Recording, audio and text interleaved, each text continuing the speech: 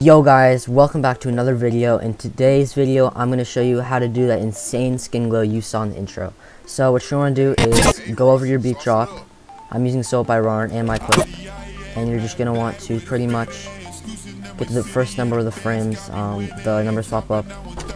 Close your clip there, drag it onto your beat drop. And now you're going to want to cut it. And you're also going to want to unlink both, uh, um, both clips. Delete the audio because we're going to be messing with them later and we'll just drag in sound effects. I'm going to drag this up. And now you're going to want to pretty much um, keep this one here. Now you're going to want to find, go um, get on your beat drop and hold shift and click the left arrow key. Go one second back. Don't click on anything. And click this to put a marker above. Um, and this is going to be one second behind. This is where our bullet's going to start. So now what you want to do is find a good spot for this to start. So now you're going to drag this um, away from where this um, kill happens. We have the kill here and we'll sync it back up. But pretty much just want to drag it back. And make sure if you can't drag it back, just cut the back, cut, cut from the back. Now you just want to find a good spot for it to start. So I'm going to start right, right around here when my character is flying through the air. And now what you want to do is pretty much go to retime controls and open retime curve. Click this, that, um, click retime speed, unclick retime frame. And now you're going to want to go to that point you saw onto that on that little marker, add a speed point, and now go to the end and go frame five frames to the left. One, two, three, four, five. Um, oops. One, two, three, four, five. Add a speed point, and now you're gonna want to go here and drag this down all the way to 10%. Alright, so let's do that, you go over here, drag that up, and then you're gonna go into your beat drop and drag this little circle over and you're gonna want to make sure the back of it lines up perfectly with the beat drop. And now um, you know you can just drag this back down, and now it's gonna look like 3 FPS. You're just gonna go to optical flow, enhance better and smoother, and now it's slow motion, accelerates into the kill. And now you're gonna want to go to here, retime controls and retime speed, retime speed. Um, click retime speed, unclick retime frame. Go 1, 2, 3, 4, 5, 6, 7, 8, 9, 10 add a speed point, drag this all the way up to 300%, and then drag this back part down to like uh, 33, around there. Click that, click the little circle, click this right there, and then you want to do that, and now, now it's a good um, velocity, now just to make it optical flow. And that's pretty clean. So now what you're going to do is close out a retime curve on both of them. And now what you want to do is come here, split the clip, click on it, press Alt, drag it up. And now you're going to go to the color tab. And now this is where you can you can do two things here. One of them is going to make it look really good and the other one's still going to make it look good, just not as good. So you can either do this, you can go to the beginning, press um, click this, mask your entire character like this, make it like really exact, and then keyframe it, and then go every, whoops, keyframe it and then go every single frame through it, masking your character, which is really tedious and annoying. Or you could just um, click the circle, keyframe it, and this will not look as good, but it's a lot easier, I can tell you that. And um, you get about the same result, I think. So what you want to do is make the circle, click on this, the circle's there, and now just you can extend the circle, and then you're just going to want to make it so it's kind of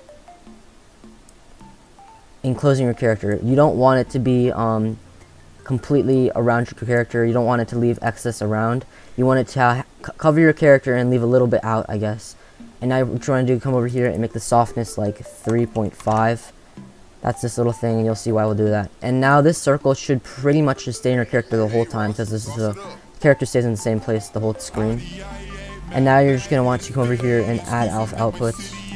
Connect that you're going to pretty much want to do this, uh, right click on it and open in Fusion page. Now once you're here, I'm going to leave this in the description. Um, this is it. This is the skin glow settings, I guess, preset. I made this myself. Um, pretty much what you want to do is um, be in your Fusion tab. I'll leave it in a drive. Um, you guys can download it. It's just a preset. And you just drag into the Fusion. It's there. It's got Edge Detect, Cloud Cycle, and all that. And you just want to hold shift on all of them and pretty much um, it comes default red because red's my favorite color so I just made it red but if you want to change the color come back to here and then just go into color tab and you are going to just want to change the hue. So if you want to change it to blue, change it to 90 or so, and you just mess around with the hue, and you can change the color. By the way, for this, you're going to need Sapphire plugins for the S underscore cloud cycle and S underscore rays. It's really easy to get. I'll leave a link in the description. And now another thing you can do to make it look a lot better, come into the color tab and just turn the saturation up to 100. This makes it a lot brighter. Um, and then if you want it brighter for whatever reason, you can turn the color boost up even more, so 50 in that case. Um, so now we can examine our character and we can see, okay, it's not getting down there. So now what you want to do is just come to the circle and you can just make it a little bigger. And now the circle's a little bigger and it'll get more of the character on it. Um, instead of making it bigger, you can also just change the, the feather. That can make it just um, fade out around more. But just change both of those to change the size. But so that already looks really, really cool. And so now what you want to do is, um, since you have Sapphire plugins, um, just come over here, type in hue in the open effects, and hue sat bright. And now you're going to drag this onto our bottom one. Um, not the top one with the effects, just the bottom one. And pretty much what you want to do is, at the very beginning, you're going to want to keyframe the saturation and brightness. And then go, um, like 15 frames forward 1 2 3 4 5 6 7 8 9 10 11 12 13 14 15 and you want to turn saturation to 0 and the brightness, I don't know, like to 0.3 around. And then now you're also going to want to drag this 15 frames forward, so wait till this little thing says 50 plus 15. Alright, there, 15, and now it... Um, so yeah, that's that. Now you're to want to go and get the shake um, preset that I have in the um, project file that has all the effects. Um, it's just a basic shake. Um, it'll have the shake and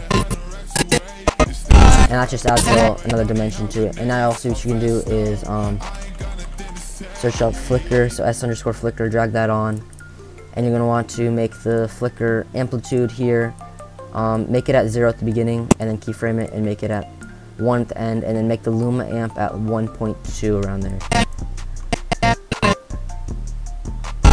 And that just makes the flicker really, really hard, obviously, and gives a nice dimension to it, I guess.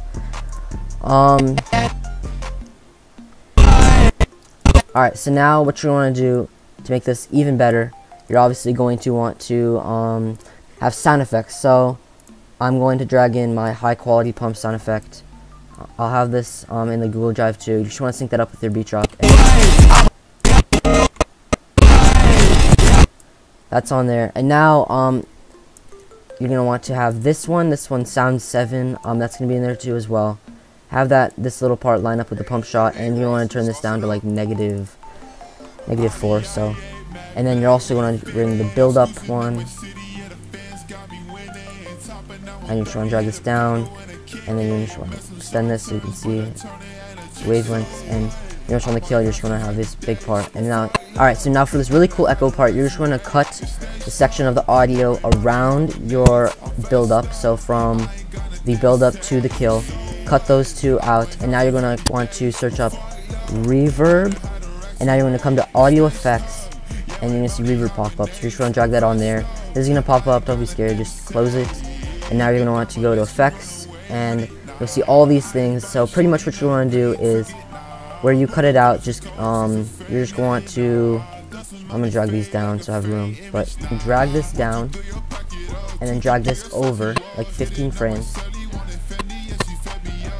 And you want to have this fade out. So this, this audio, and then have this fade in. So, and it'll sound like this and it's gonna be super cool. So if that's a little bit too much of an echo for you, just come over here to dry slash wet, and you can just bring this down. So zero is nothing, and um, 50 is a little, and 100 is the max. So, so I'm gonna stick with like maybe I don't know 75. That seems about. So yeah, that's that's that's the first I've ever seen this. I was just looking through DaVinci because this is an After Effects effect, and I guess it's in DaVinci too. So yeah. But now what you're going to do for the impact, you're going to want to drag in the crazy hard impact from the project file in description. If you don't know how to use that, just look at like I don't know, my how to over edit video. I think I should to use it there, or some of my other tutorials. But pretty much is just a really good um, impact, and now you're gonna want to drag in um, the hard flicker on kill. This makes it look really nice too. And now you're gonna come over here and just type in hue again. Go to open effects and hue sat bright, and you're just gonna want to oops, come down here at the beginning. You want to keyframe the saturation at zero and the brightness at 1.2 around there, and then like a third of the way, you're gonna want to just bring them back. Or since one. And um, I think that's so. If you guys use this effect, um, you guys can um comment down below, and I'll just tell me you use it in your most recent montage or something, and I'll check it out. But don't be weird and self-promote, like don't be do that, bro. But yeah, if this video um, tutorial helped you, please consider dropping a sub. We're trying to hit 5,000 subscribers here. So yeah, and uh, peace.